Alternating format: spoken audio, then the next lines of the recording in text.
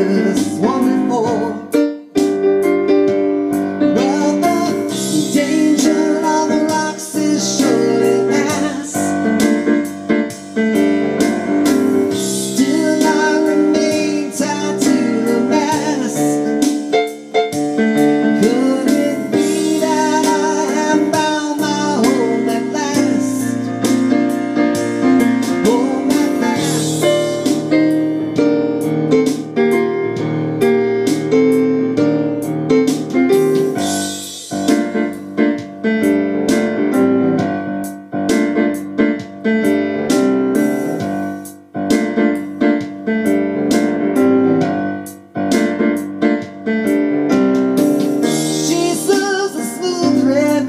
She keeps me safe and warm.